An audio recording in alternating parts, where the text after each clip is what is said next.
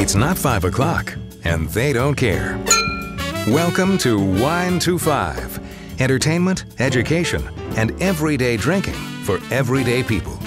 Your hosts are Valerie Caruso and Stephanie Davis, two wine educators who don't need a clock to know when to pour that next glass. To our 200th episode. I'm your co host, Val, in Colorado Springs, and Skyping with me in Fort Collins is Steph. And in this episode, we are celebrating our milestone with a very special guest that's calling in today from Italy.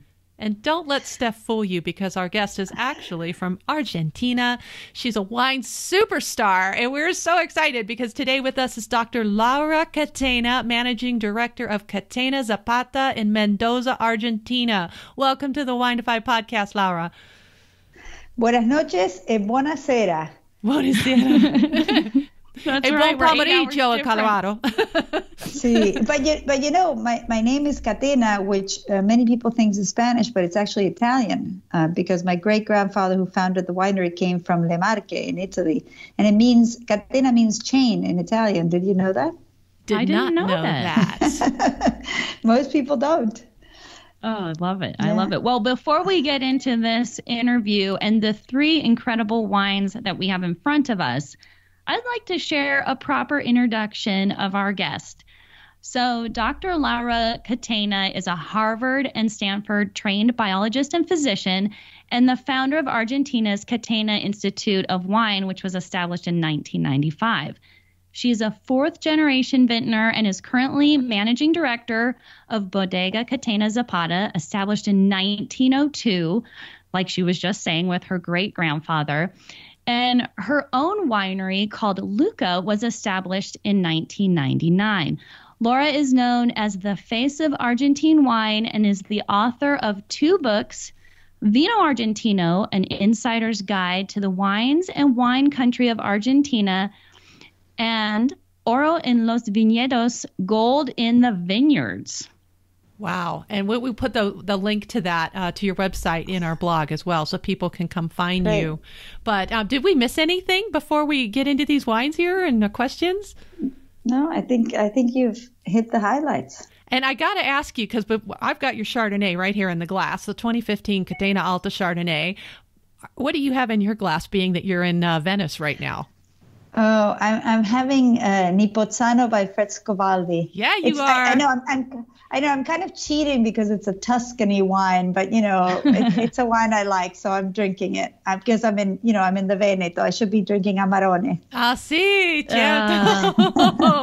oh, Just drinking wine is good for this show. Sometimes we talk about uh, Pinotage and we drink whiskey, or, you know, so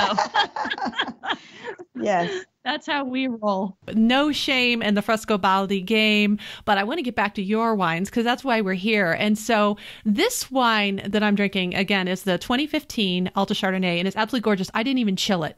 You mentioned the uh, the Grand Cru Vineyard Adriana when we were talking earlier. Can you tell us a little bit about that while I'm sipping on the Chardonnay here? Yeah. So, well, this this Chardonnay comes from high altitude in Argentina, which you know it's kind of hard for people to comprehend that we have cool climate in Argentina because you know when they think Argentina, they think South America and it must be warm and there's palm trees, and we do have that in Argentina. It's quite warm in the north, but when you go by the mountains, it's quite cool, and we can make these very mineral Chardonnays. We have these alluvial, rocky limestone soils.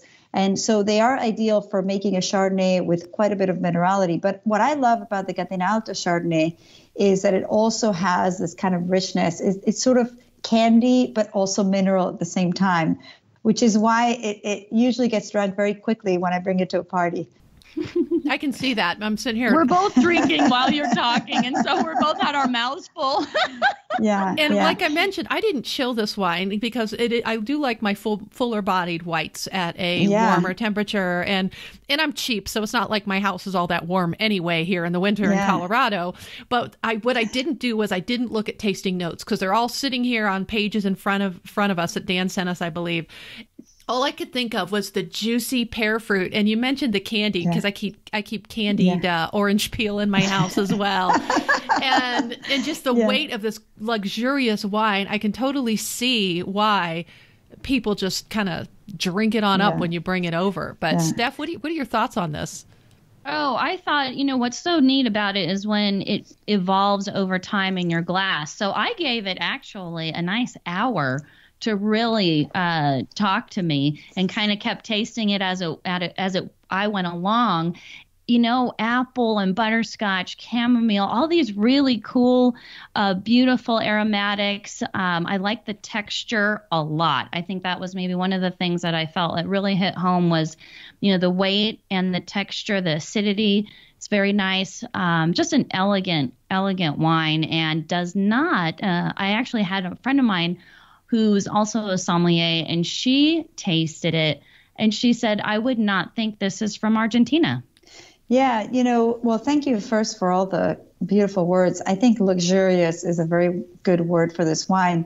You know, it's because of this high altitude that will have this minerality, and then the richness comes from the, the sunlight because the, the skins get thicker. Uh, it's a protective mechanism from the plant against the sunlight, but it, it creates more tannins and more texture. So I, I think you mm-hmm. guys have described it so well. And you asked about the Grand Cru concept, and you know, Grand Cru is a is a French concept. That's what they call their wines that have uh, achieved particularly great status because of years and years of being beautiful wines and aging well. And what I want to say to the world is that there are Grand Cru, and it means basically great growth. Mm-hmm. There's great parcels all over the world. And this wine in particular has about 80% of it comes from the Adriana vineyard, which is at 5,000 feet elevation in this beautiful alluvial soils. And I think that this is a really special place. We planted there in 1992 when people in Argentina thought that grapes would not ripen there because it was too cold high up in the mountains. But it did. And, you know, this is not a, a wine that's not ripe. You know, it's it's got the minerality, but it's got beautiful ripeness. And, uh, I think it could be considered a Grand Cru site. And 5,000 feet, too. That What are the temperatures like? So, well, it snows several times in winter, and in summer, you know, it's usually around, you know, average of 15 degrees, but, you know, it can also go into the 20s. Sorry, I'm talking Celsius. Sorry. That's okay. All right. I, I, you know, I've been living between the U.S. and Argentina for, I don't know, 30 something years, and I still can only think in Celsius. A normal day, uh, you know, in the evening it would go into the 40s, but, you know, during the day it would be in the 70s. Mm-hmm. In the summer, I'm talking about the summer. In the winter, you know, it'll go down to 32 degrees uh, and then below when it's snowing. And then it is a problem though. Sometimes we will have a frost in the summer, we'll have a few cold days, and then we have to light up these little fires to save the vineyard. And so far, you know, uh, touch on wood over, you know, 25 years, we've had a few frosts, but we've never lost uh, the whole vineyard, which has happened to us in other vineyards. Yeah. And the, they call those smudge pots, I think, in some part of the world, right? Where they light the little. Yeah. Yeah. Yeah. Yeah. Now, another question I just had on this wine, real quick, and then we can maybe move on to the next one, because I keep getting these like peach juice, but then I get the diacetyl from the the malo that you guys did, and then yeah. you, you you it says here on the notes it used new French oak.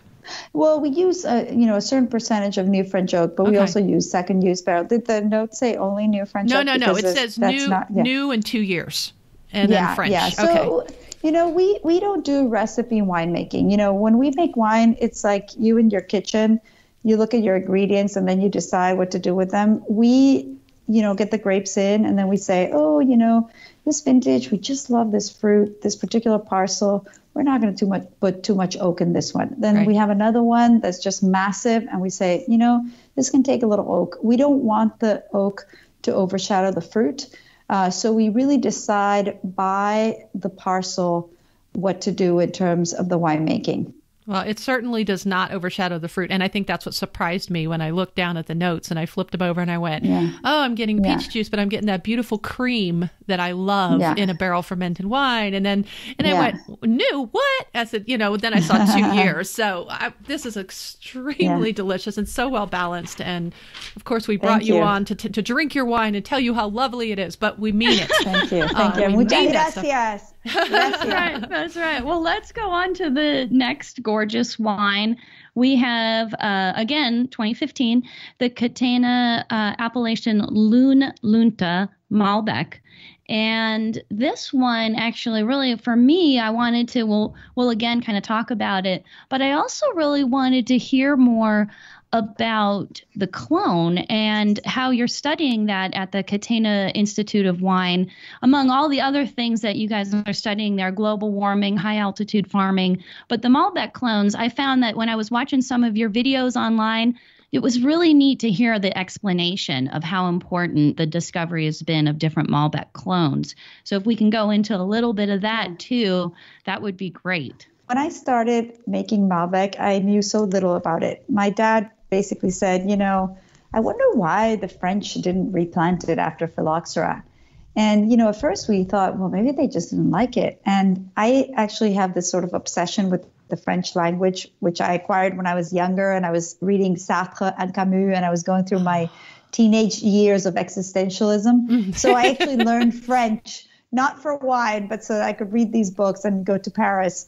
And I asked myself that question. And so I started reading the French books, and basically, they thought in the 18th and 19th century that Malbec was essential as a blend component with Cabernet because it had beautiful aromas and it softened the harsh Cabernet tannins. Mm-hmm. And in fact, the reason why it was not replanted after phylloxera that hit in the end of the 19th century was because they had the little ice age in Europe, you know, the yeah. opposite of what we have now, global warming. And Malbec is very susceptible to uh, very cold weather. And so the yields would go way down. And they said, you know what? This grape is beautiful. It was actually more widely planted than Cabernet Sauvignon in the 19th century. It's in the Encyclopedia Britannica. I believe it's 1889. It's vol- it's the ninth edition. So Malbec was this really important variety, but you know what? It had low yields, and back then, if you had a, a you know a small vintage, that was a disaster. So mm. they basically didn't replant it in Bordeaux. It in Cahors, which is the, the homeland of Malbec, mm-hmm. where it's mm-hmm. been around since the Roman times, you know, 2,000 years ago, they had all these horrible frosts and they had all these problems. So they were almost going into extinction. But then, sort of randomly, Malbec comes to Argentina. It's brought by this French guy, Pouget, that's hired by the Argentine government to create a, a, a nursery for fine wine. And it just does so well in the climate that people keep on replanting it. And so the selections of Malbec, and you know, we don't. This vineyard is is a Massal selection. That means that we don't have a single clone. We have hundreds of individual plants that we have actually selected the best ones, but it's not just one; it's 135 that we replant in all our vineyards. This selection of Malbec, which is extremely old, it probably dates back centuries in France, no longer exists in Europe. So I tell people, listen, tell me another grape that has a more interesting story because it basically almost went into extinction. And had it not gone to Argentina, it probably wouldn't exist today. And the people in Cahors in France, which is the homeland of Malbec, they say if it weren't for Argentina, we wouldn't exist today. Because then Malbec from Argentina made the variety well known again, and now Cahors is thriving. So the selection of Malbec is not only precious because you know, it's in my wine and it's been in my family for so long. You know, I, my family's been making Malbec since 1902. But it's also important for my region and also for the world of wine. This is this beautiful variety that might have been lost. And this particular wine comes from the Lunlunta vineyard, which is a vineyard planted in the 1930s. And it's named Angelica after my grandmother. And the selection there is very diverse. In fact, when you go there, you know, if you're a professional viticulturist, you might say, hey, you know, these plants are so different one from the other.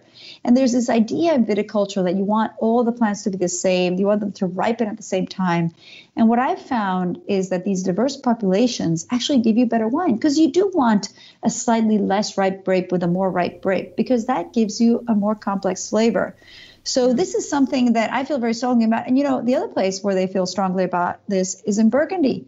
You know, in Burgundy, they are preserving Massal selections. In fact, they've gone through their vineyards trying to find, you know, pre-phylloxeric Pinot Noir because they feel strongly about preserving the selections. And with global warming, this is even more important because possibly the kind of vines that were selected in the last 20 years, you know, won't thrive with global warming. So we need to have a greater diversity of vine material. So, yeah, I'm very passionate about this uh, Massal selection of Malbec, which includes, you know, as you said, several clones. We also have done some selections of a few clones that we think are particularly good for quality, but we always keep the Massal selection planted in every vineyard because we don't know what's going to happen in the future. I think what was something, first of all, Steph, we've never done a Malbec grape gab, and shame on us. At least if we have, I can't yeah. find it. And shame well, on no, us. no, we haven't. We yeah. haven't. I so, we did an intro to Argentina episode years ago, and that's and we left it at that. yeah, I know, right? I think we called yeah. it uh, "Two to Tango," something like that. This so, is how we make up for it, though. Yeah, you know, yeah. We, we just bring the superstar on the show, and then she tells everybody. And another thing wow. that you mentioned um, in a video also was that the Malbec, of course, you, you, mentioned over 135 clones here, but you mentioned the, the Malbec in Argentina, of course, is not the same Malbec that was replanted in France, and that the berries were, I believe, smaller. Yeah, yeah. So if you uh, look at Cot, yes. which is the other name for Malbec, which is what's planted outside of Argentina, it usually has bigger bunches, bigger berries, because they were looking to preserve a Malbec that would give higher yields and that would be sturdier. And so what came to Argentina is more diverse and there's more of these small bunches, of small berries, which we think give the best quality in Argentina. I, I don't want to, you know, badmouth Cot because I think you can make some great wines with Cot as well with the other version of Malbec. But I'm just happy that there's a lot of different kinds of Malbec. You know, I think of vines as people, you know, diversity is always better. And you see it in the wines. The wines are more interesting when you have a diversity of plant material. Yeah, that they are. And so, speaking of interesting, Val, what did you think of this? Particular Malbec? I had sent Steph a note last night, actually. I had a day yesterday and I sat down and my lunch wasn't till what, 3.30 or something, Steph? I said, I'm going to lunch like, like 3.30 or 4. I'm finally getting lunch and I hadn't eaten since 8.30 that morning. I'm like, I'm starving. So I'm having this leftover lamb and I opened this bottle and I think I sent Steph a note that said, I may have some of this left for the podcast tomorrow. so that ought to tell you what I think of this. Because first of all, let, can I just mention the price? I think he wrote $25 on this bottle, which is ridiculous. But I love, first of all, the approachability of it. I love the the fruit, all those fruits on the nose, the dark fruits. I love the blackberry that I'm getting in there. I love all that spice, and I see here that you did use a little bit of wood on there as well. But it, again, it doesn't overpower. Malbec can stand up to some wood, and I think sometimes it really likes the wood, and so I find it to be a nice full-bodied wine, but still approachable. Where I didn't really need the lamb. So I poured another glass. Mm. That's right. That's well, completely yeah. right you know, I'm so glad about what you're saying about lamb because people always say, you know, Malbec and beef. And actually, I think that Malbec has a kind of gaminess that goes well with other mm. kinds of meats, you know, lamb, chicken. You know, it, I actually think it's one of the few red wines that can pair with spicy food because of the soft tannins. Right. And I also love Malbec and mushrooms. That's a yes. personal sort of obsession of mine because, you know, mushrooms are the most umami of all the vegetables. And any meal like a risotto with mushrooms or mushrooms with pasta, mushrooms with anything will go really well with Malbec. And actually, Jancis Robinson, you know, the famous wine writer, once told me that she thinks that some of her favorite Malbecs make her think a little bit of Pinot Noir. And the first time she said that to me, I said, well, that, that that's kind of weird because, you know, Malbec is a Bordeaux variety. But actually, Malbec has the, these soft tannins. You know, that's why it was always blended with Cabernet because it complemented it. And I think that if you were to close your eyes and not look at the really dark color of Malbec, you would taste this softness that makes it so easily paired with so many different kinds of foods. I think I have to echo what Jancis said because I have in my notes here it says Pinot lovers would even love this.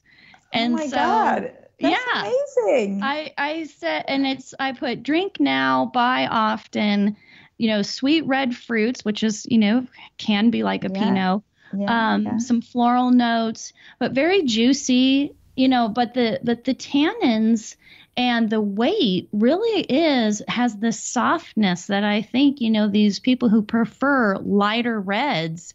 You know, this was I thought you know I would put this in front of a Pinot person and say, what do you think that you know what do you think yeah. of this wine? Yeah, yeah, no, I agree.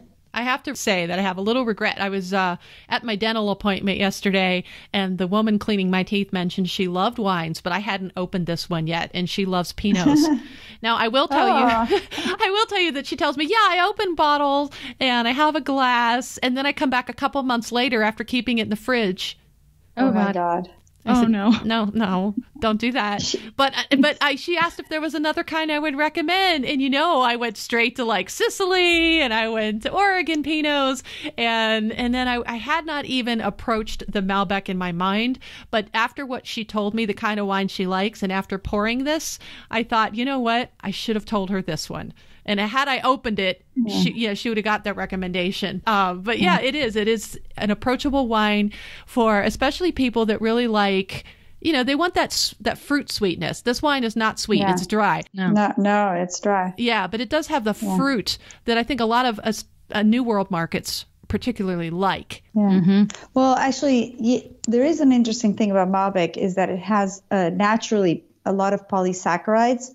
So polysaccharides are in the sugar family, but they're not sugar. Mm-hmm. So even a completely dry Malbec like this one will have this, you know, I don't, I don't know if I want to call it sweetness because people don't like sweet wines, no. but it has this yeah. soft smoothness that makes it go so well with food. And, you know, you can drink Malbec alone and it's never too tannic. Uh, but it is because of these polysaccharides uh, in the tannins. We studied this at the Catena Institute. Well, I would go with juicy. I think that's how I would describe it. Yeah, it yeah. juicy. Right. Yeah, I think know, juicy is a, is a good yeah. word. Yeah, yeah. Yeah. Speaking of good, let's get to this next one because I have them both in the glass side by side, and you can actually see the visual difference as far as the the opaqueness of the wine, the limpidness of the wine, as the Italians would use. And this is the the Malbec Argentino. Malbec, did you, is that a hard G? Argentino? Uh, Argentino, Argentino. yeah, okay. almost like a J. Argentino. Argentino. Okay, I'm very bad yeah. at that, but it is the 2015, no, and this is gorgeous.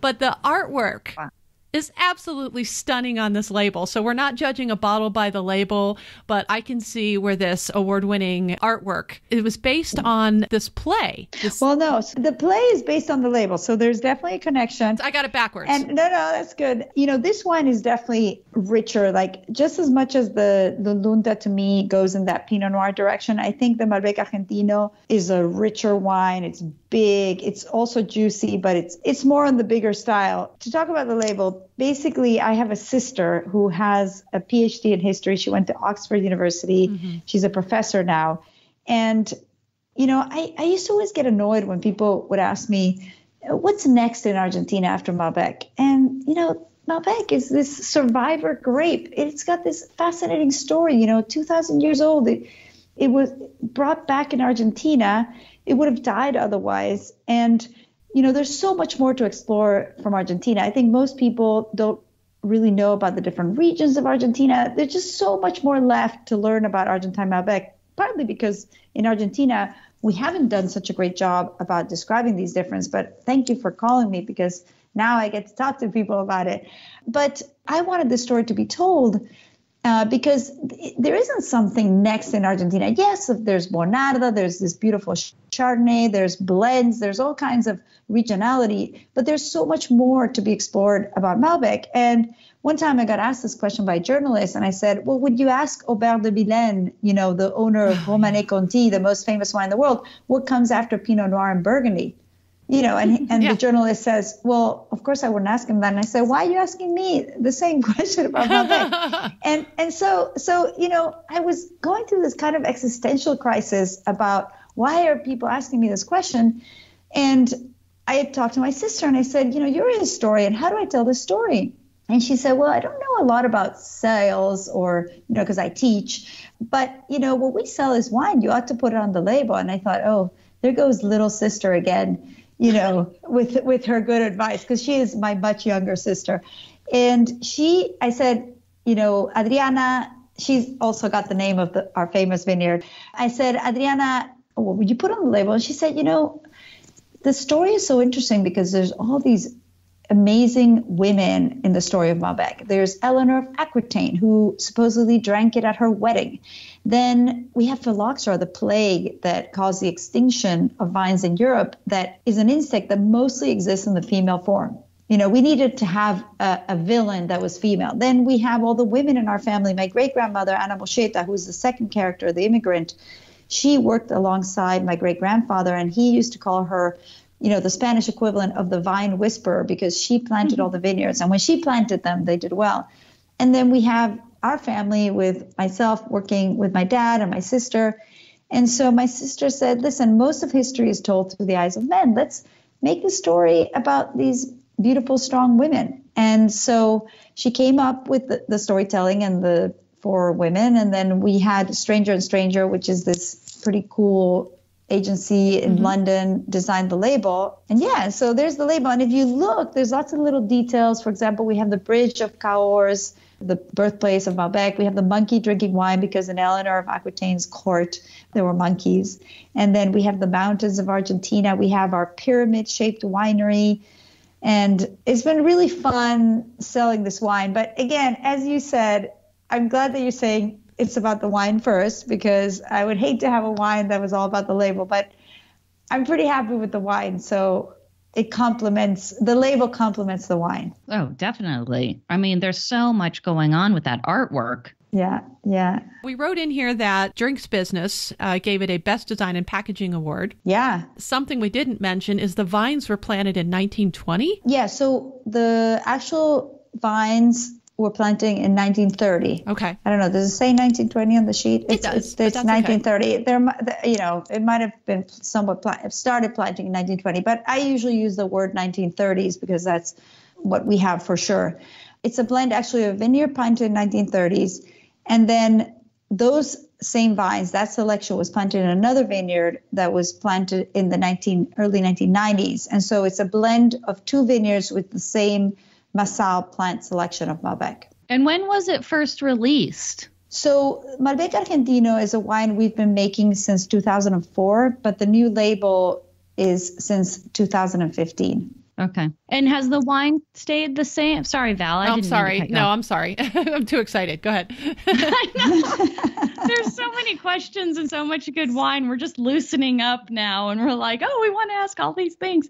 But, uh, you know, so how, has the wine stayed, you know, somewhat the same or has it changed a lot since 2004? So we did change one of the vineyard sites. Before it used to come from Adriana, now it comes from Nicasia because we thought that the old vine vineyard complemented really well the Nicasia vineyard. We, we just kind of played around with the blend and we said, you know what, we want this to be a fully old vine wine. And so we decided to use more of the old vine vineyard in this blend, the 2015. So I think it's a little more luxurious, but the wine itself as sort of an icon for Malbec in the sense that if you drink this wine, it could not be any other variety. You know, it's Malbec.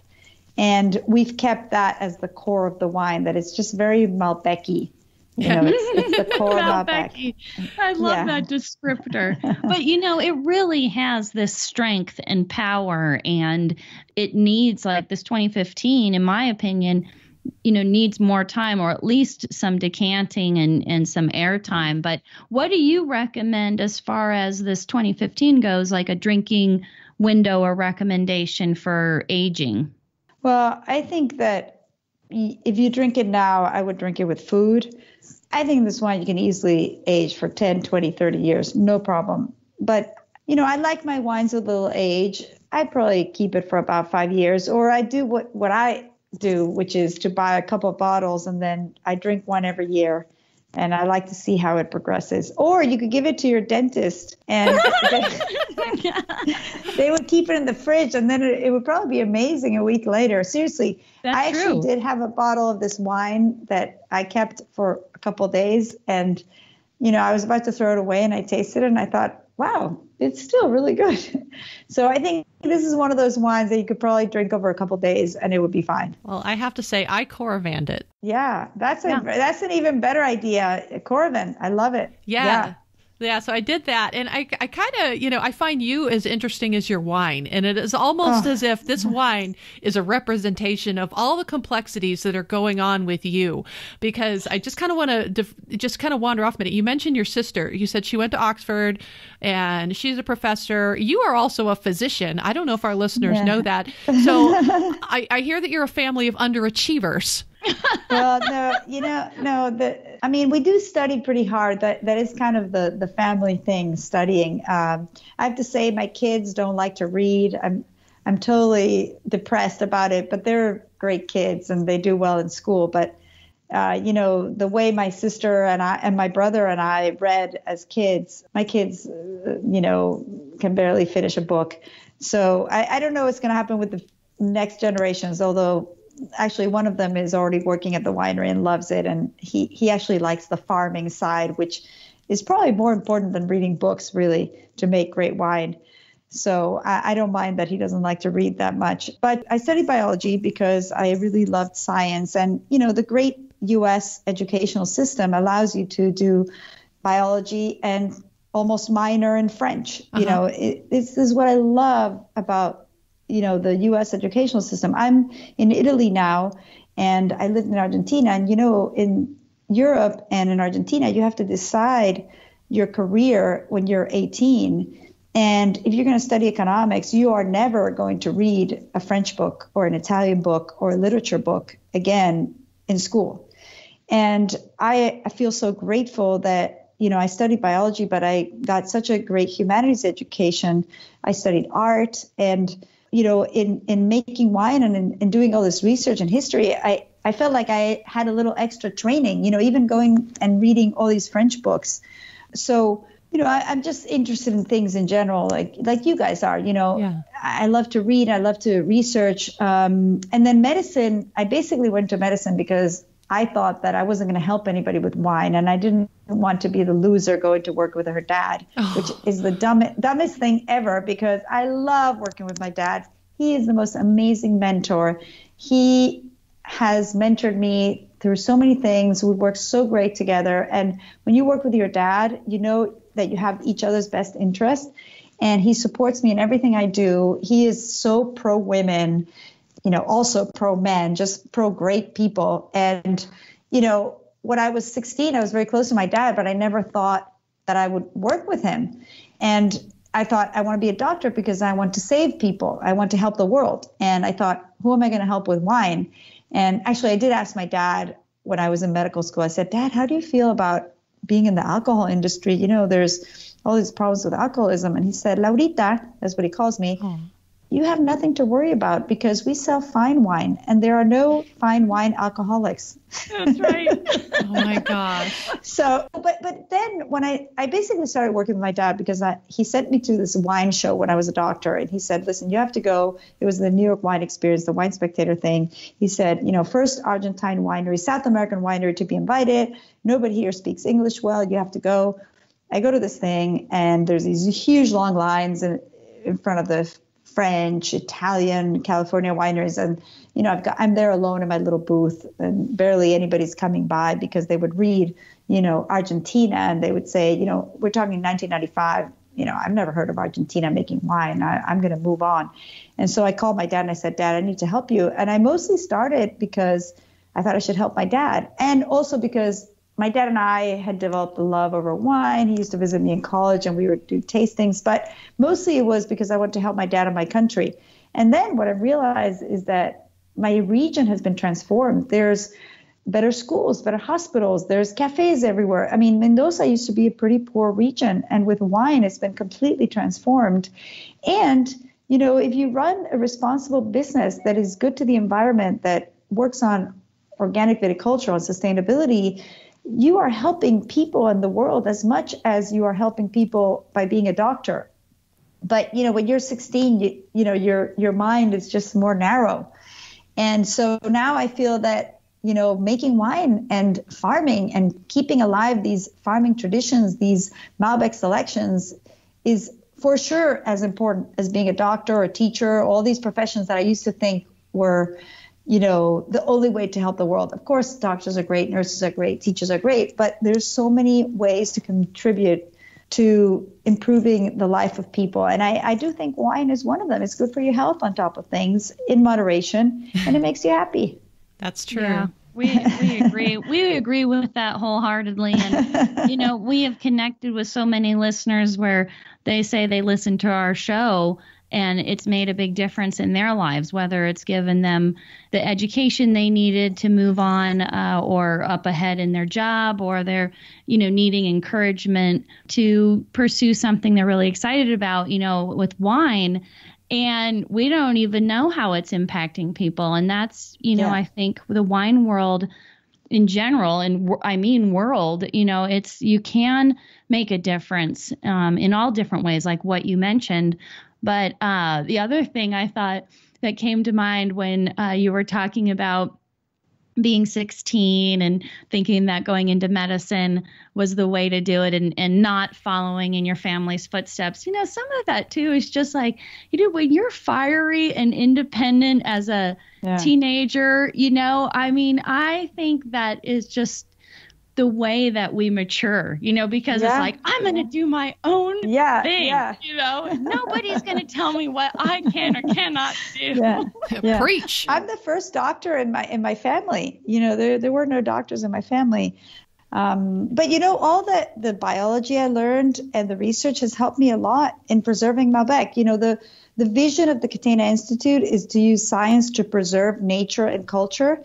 And there are so many threats to agriculture right now. You know, mm-hmm. there's there's cities moving in, there's water shortage, there's climate change, there's phylloxera. There's so many things happening. And actually, my scientific background really helps me. So I always say to my dad, you know, actually going to medical school was pretty good preparation.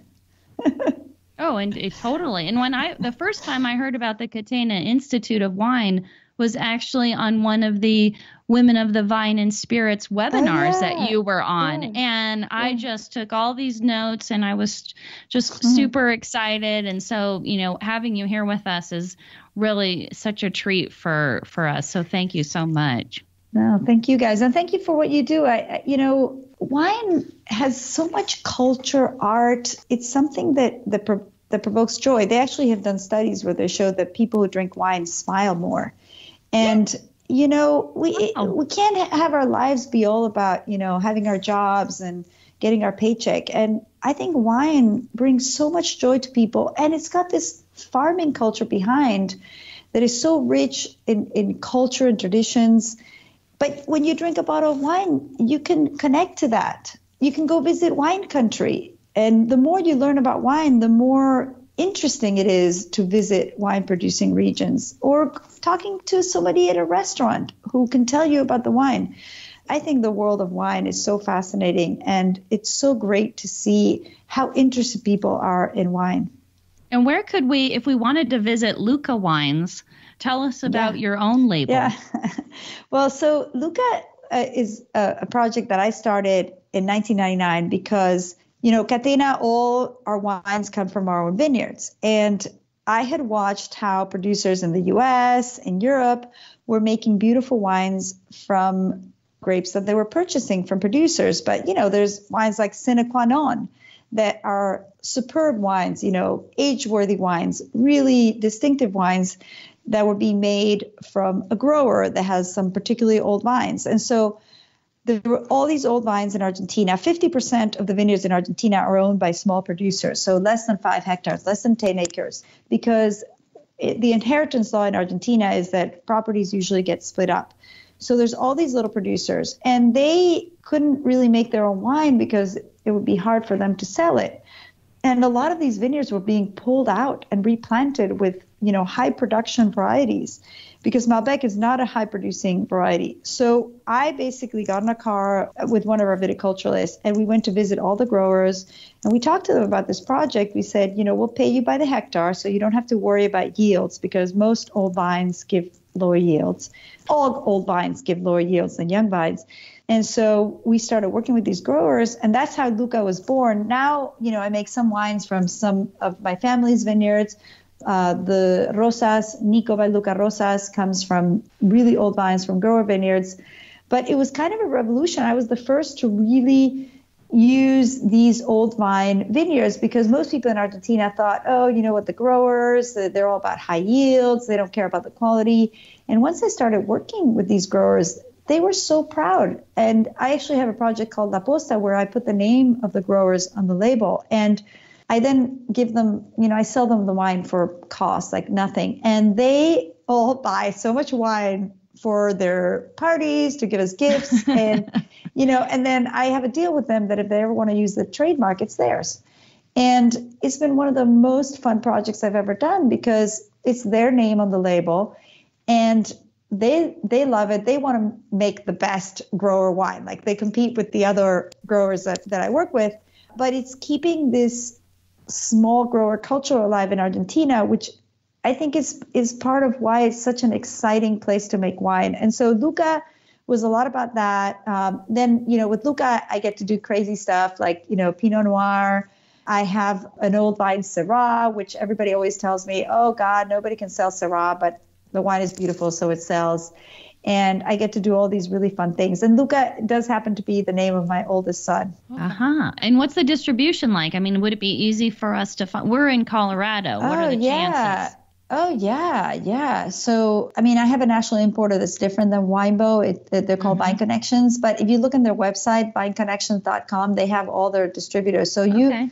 you should be able to find it. And, and I think we actually sell quite a bit in Colorado.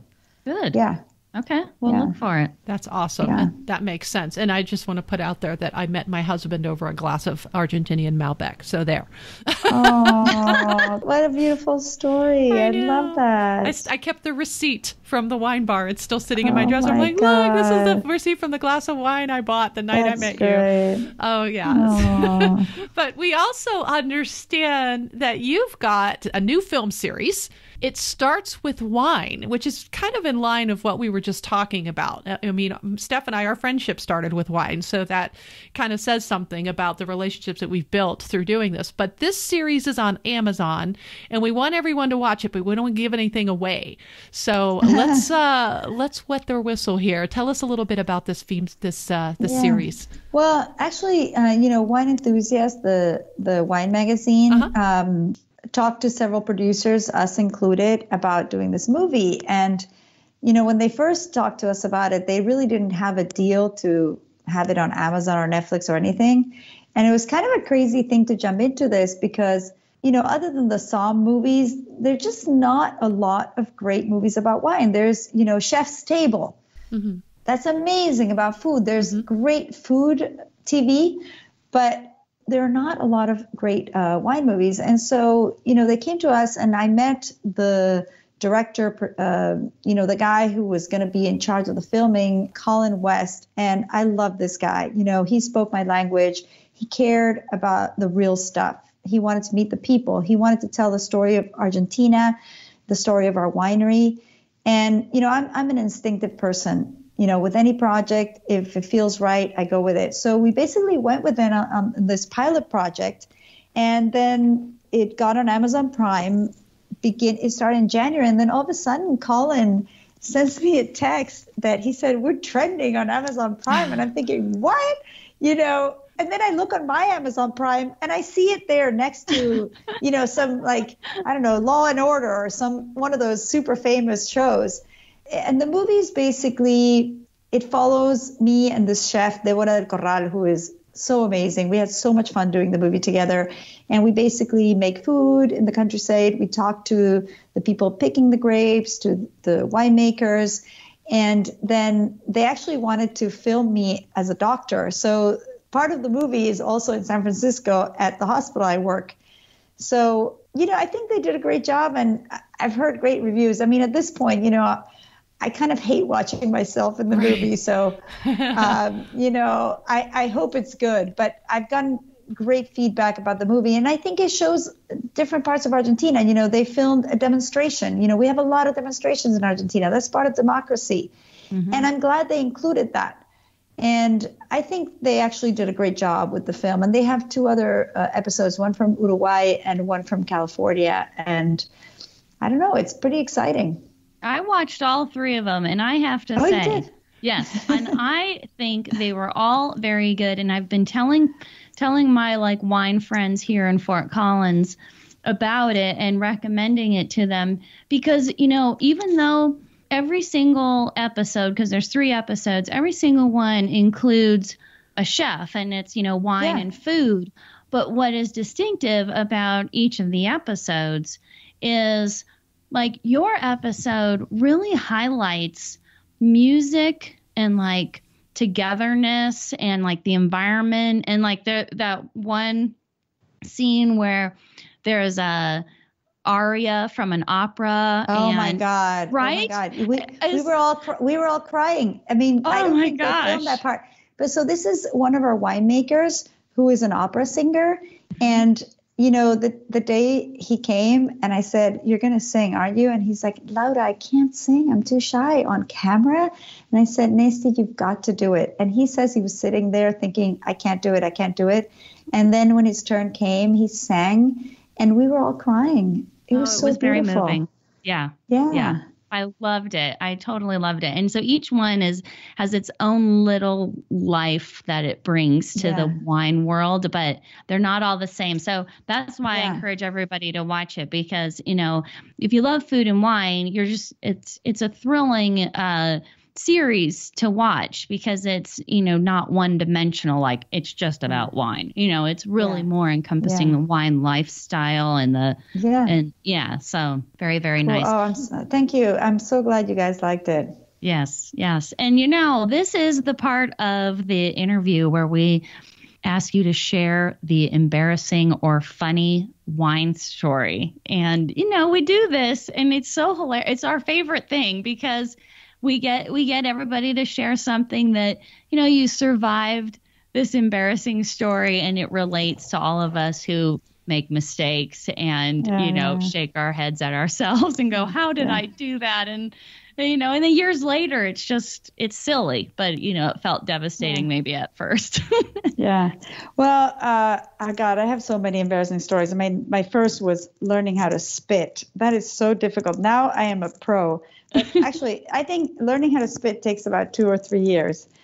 But but the story, I, I mean, I don't know if this is that funny, but I once was doing a presentation of my wines, and I was going from, you know, like my least expensive wine to my most expensive wine which I think all my wines are great. And, you know, I'm not a wine snob. I like to drink wines of all prices. You know, I can drink a beautiful $10 wine that's the perfect wine. And then, you know, I will splurge for my dad's birthday, a wine from his birth year. And I'm not going to tell you how much I paid for it. It was a Latour 1939, but oh. it was a oh. lot of money. Oh, wow. Yeah, but it, but it was worth it, you know. So I, yeah. I, I drink on all extremes. But so I was doing this tasting for my least expensive, most expensive wine, except that I had the order wrong. So I have this whole group of sommeliers in front of me, and I start with the wine that's like my best wine, thinking that it's my least expensive wine. So I start talking about it. I'm like, wow, you guys, I think this might be the best wine we've ever made for this brand. You know, and I'm talking and talking about it. And then I get to the middle wine and I'm like, okay, this wine's so three wines. So the middle one was correct.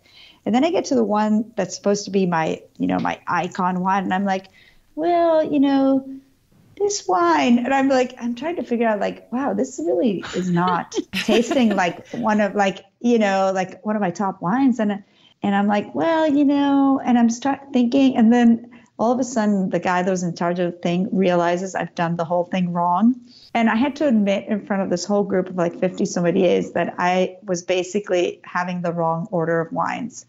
And I don't know if that's that funny, but you know, at least I didn't say the wrong thing until the end. I started really fumbling, you know, yeah. about, you know, yeah. how can I say that I don't think this wine is like worth this hundred dollar price oh because gosh, it was a ten dollar yeah. wine and it was a beautiful ten dollar wine, but I'm thinking this doesn't have the richness, the complexity of a hundred dollar wine. But you know, my thing about making mistakes, and believe me, this is I, I've done so many foibles with wine, but from being a doctor, this is what I say at my winery sometimes they've made a mistake. I mean, we did once send ship to Puerto Rico for the summer Cabernet instead of Chardonnay. And oh. they were oh. like, okay, nobody in Puerto Rico drinks Cabernet Sauvignon in the summer. So what are we doing with this wine? And yeah. my, you know, the people in the winery were horrified. And I said, listen, guys, you know, was a small child hurt? Because, you know, I work in pediatric emergency. They said no. I was like, okay, guys, I mean, obviously, they showed me how it happened. It was an honest mistake. And I said, listen, let's figure out how not to make it happen again, but let's move on. And I really have that philosophy. You know, I take care of people who are so sick, and really, you know, nothing is that important other than your health and your family and your friends. So I, I have to say that in general, I I don't waste too much time when I make all the mistakes that I've made because really at a wine tasting, making a mistake like the mistake I made with the wines okay, it's not that important. Maybe right. it makes me look a little silly or or not knowing my wines very well, but in the end, nobody was hurt, and people are very forgiving. Yes. You know, they were happy that I was there, and you know, we started the tasting again, and we were all fine. And I think that one should be forgiving because wine is for fun and you know, I do think that sometimes people take wine too seriously, and that's definitely the wrong approach. Agreed. I think you had a really good message in your story also. Well, first of all, you know your product. You knew when you got to the, you know, the lower end of production, you're like, wait a minute, something's off here. And I'm sure all those sommeliers were like, all right, all right, she might have messed up the order, but she obviously isn't trying to put one over on us. She knows yeah. her product. And and then the second thing, like you said, it is important to learn how to recover from these things because because everybody who listens is either an enthusiast or somebody in the industry or somebody who wants to be in the industry. And this is going to happen to all of us. And so being yeah. able to recover, especially in front of a crowd or a presentation seminar and whatever, that's part of it. And again, your third perspective, it, it's, it's perspective, your third point. You know, yeah. did somebody get hurt over this? No. And I, yeah. I have to say, you know, it's just like if you come from a world where sometimes decisions are being made, like in my case, it might have been, you know, in a military situation. Oh, absolutely. Right. So I'm not I'm not briefing a general on why he can't have this or that or this, yeah. you know, during a war. I'm talking yeah. about wine here. And so I always say it's yeah. just wine, man. And yeah. that you put that in perspective, it's still the livelihood of people. We still take it seriously. Yes, yes. But we don't take ourselves seriously. Yeah. I totally agree with that. I couldn't agree more. Yeah. So I think your your story had a bunch of great messages, don't you think, Steph? Oh yeah. I mean, Val and I totally agree with you on this and we say all the time to each other you know, the mission hasn't failed and we haven't killed anybody. And, you yeah. know, we really usually say mission hasn't failed because Val came from, you know, the Air Force and really was dealing with very wow. extreme missions. And then yeah. I was coming from oncology pharmacy dealing with chemotherapy uh, yeah. and stuff. And you're just like, you don't mess around with some things. No, but no, with wine, you can be more forgiving of yourself. Yeah. You know? And so it is important to have that perspective. And then you know yeah not take everything too seriously. Um yeah. but you know wine is a business. It is a science. There's a lot of yeah. that stuff that you know deserves the attention and the yeah. serious times you know Right. Absolutely. Absolutely. Yeah. Well, yeah. I could sit here and I know Steph, Steph shares this. We could sit here and just chat with you another hour, but I know Steph has to get on the road here shortly and I know it's very late there. And so before we kind of close out with you, is there anything else that you want to share with our listeners, how they can connect with you online, anything we missed here in this beautiful conversation today? Well, uh, I do have an Instagram account, which is uh, Laura Catena MD. I tried to get the Laura Catena account, but a woman in Italy had it because you know my name's Italian. But so it's Laura Catena MD, and on Twitter I'm just Laura Catena, and so people can um, contact me through there, and uh, they can write to the winery. The email at the winery is turismo at catenazapata.com. But if you just Google the winery, you can find the site. And you know, the only thing I would like is to stay on for an hour to ask you, Val, and Steph about your lives. so that's for the next time when, when we That's the meet next over a one. glass of wine. Yeah. That would be or amazing. we'll meet you. We'll meet you either in Italy or in Argentina, and we can do that. or in the I states. You never know. Or in the States, yes. So that's a deal. Yes, if you are ever in Colorado, please reach out. Steph Yeah. and I are Okay. like both, you know, on either sides of Denver. We will come to you wherever you wherever you go. So we would love to meet up with That with would be amazing. Me too. I would love to uh, have a glass of wine with you guys. love And it. I will say one more thing as far as connecting and uh, learning more and getting more uh, information. The Catena Malbec YouTube channel is super impressive. So I Yes. just want to let everybody know because a lot of people are into watching videos. And Laura, you're so great in front of a camera, obviously, with the Amazon series.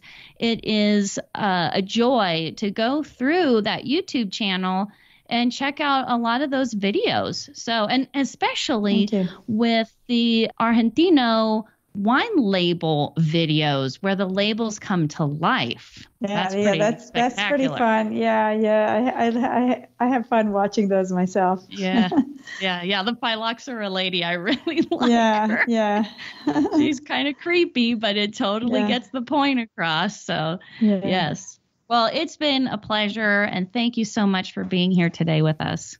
Uh, thank you guys. Thanks, Val. Thanks, Steph, and thanks to all the listeners. oh, thank you. Well, thank you guys, and hope to meet you both soon. You too. Enjoy Italy. Okay, gracias, grazie mille. Buona serata. Bye. Buona Bye. serata. I can't handle how wonderful she is, Steph. Uh, that dude, I think she's one of my most ex- like the probably one of the times I've been the most excited about a guest. I know. I was like, oh, let- let's ask her about the play. They're talking about the play because I went and stalked her on Instagram. There's so much to talk about. I mean, know. like we didn't even talk about like visiting the winery, which my friend Cheryl has been to the winery and she's just like, oh my god, it's so amazing, and you know, that's there's so much to talk about because you know they have hi- history and significance and they're making an impact in the world of wine in a major way with the institute and it's just really a lot And she was so real. yeah, I know. And that she like she's like, I want to hear about you guys. It's like, well, that's very nice of you. Oh, I know, I know. But what an interesting person and her sister and I mean, just so much. And then like I said, there's just so much to cover. And then, like you said, the videos, she's so photogenic, so beautiful, so great on camera. Such a, I'm, I could go on. I can't stand it. I know. I can't stand it too. So, Oh. yes, definitely a big thank you and shout out to Laura and the time that she took away from her family and her business life and uh, being in Italy to be with us. I am so happy about that. Yes. And big thanks also to Dan Fredman, and he's at Dan Fredman PR, PR and marketing to the thirsty. And you can connect with him on Twitter at D Fredman. And we have to really give him, you know, the props because he made this interview possible for us today and helped get us these samples and put us in contact with Laura. So thank you so much, Dan. And next up is our last Patreon drawing. And this time it is extra special because it is our 200th episode. And we obviously have these incredible wines, which we will also put on in our blog the retail value of the wines and stuff. But just to let you know, we were really celebrating today. We had some very nice wines, very extraordinary guest. So this was a, a big milestone 200 episodes. Man, and the person who's going to win this drawing, what are they going to get, Val? They're getting a whole bunch of swag. This is this is what I called on the blog last week, the swag bonanza, because we're getting books. We have Rose Wine by Jennifer Simonetti-Bryan. We have Tasting the Past by Kevin Begos. We have Govinos. We have Wine Two Five t shirts. We still have some WTSO and weekly tasting swag. And so we're going to give all this stuff away. It's about $200 total. And we're going to just going to send it on out. So I'm going to put the numbers in the randomizer right now. And Steph is going to call it. Oh, oh, oh, blue. 133. So who is 133? It always feels like bingo. Blue 133. It is. I just went to a drag bingo night the other night on, you know, Did you say Tuesday. drag bingo? Oh yeah. And that queen, she was amazing. I love it. Drag bingo. I, I want to do that. Um, but but so our winner for 133 is Kathy S. Oh, awesome. Is that side hustle? Side hustle wino. That's side hustle. Oh my gosh. Side hustle winos. Kathy, so, so happy for you. Congratulations. We will get that stuff to you. And I believe she's in Atlanta. She's been on the show before as well. Totally. Yeah. So raising our glasses to Cheers, episode Kathy. 200, our $200 worth of swag to all of you listeners. And I just love this so much. But you guys can also check our. this wine is just good. We're like this, Kathy. And This is for you, my friend. Oh my goodness. You can find goodies also on our website, wine5.com. We're in the social spaces at wine, T W O F I V E. And until next week, in which we will be celebrating our season finale, everybody. Cheers. Thank you for listening to the Wine Two Five podcast. Be sure to check us out at Facebook slash wine TWO 5 and tune in next week for more fun and useful sip tips.